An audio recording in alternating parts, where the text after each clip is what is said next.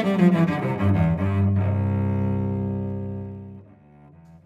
hi, my name is Wouter D'Haese and uh, I've been having lessons with Artyom Shmahaylo for three years I think.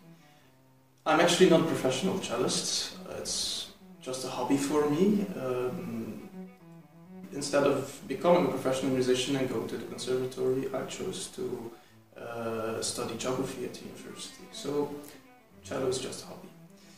Nevertheless, I certainly want to continue my hobby. I want to be good at it, uh, and um, I've found to uh, uh, notice that these lessons with Artyom are very helpful for that.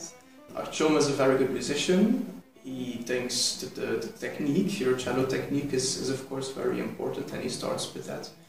But uh, next to that, uh, his, he also has an amazing, amazing intuition for the musicality of, of a piece, so that's also important.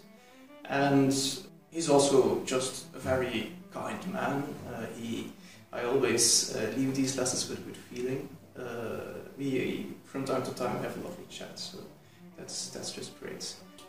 I'm definitely enjoying these lessons, and I would, I'm certainly going to continue this in the future.